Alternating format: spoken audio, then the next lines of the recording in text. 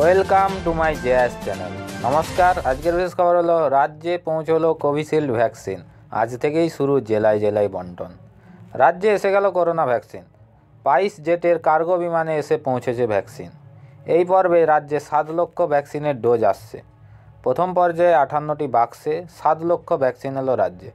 Pilot কারের পাহারায় দুটি ভ্যানে করে নিয়ে কোভিশিল্ড আনা হচ্ছে বাগবাজারের স্বাস্থ্য দপ্তরের ভ্যাকসিন স্টোরে। পুনের সিরাম ইনস্টিটিউট বিমানবন্দরের উদ্দেশ্যে রওনা দেয় তিন টাক বোঝাই কোভিশিল্ড। এদিন বাগবাজার থেকে মজুত করে আজ থেকেই বিভিন্ন জেলায় তা বন্টনের কাজ শুরু হবে।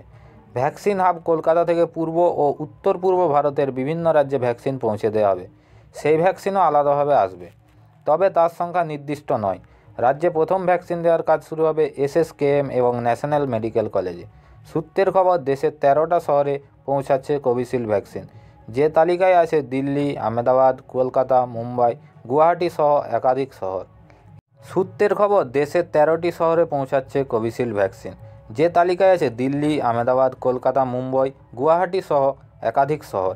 ইতিমধ্যে কেন্দ্রীয় সরকার সোমবার এক কোটি এক লক্ষ ভ্যাকসিনের বরাদ দিয়েছে সিরাম ইনস্টিটিউটকে। সিরাম জানিয়েছে, দুশো টাকায় প্রতি ডোজ মিলতে পারে কোভিশিল্ড ভ্যাকসিন। ধন্যবাদ। আমাদের এই ভিডিওটি ভালো লাগলে লাইক, শেয়ার, কমেন্ট করবেন। এবং এই ধরনের ভিডিও আরও পেতে হলে আমাদের মাই জেএস চ্যানেলটিকে অতি অবশ্যই সাবস্ক্রাইব করবেন।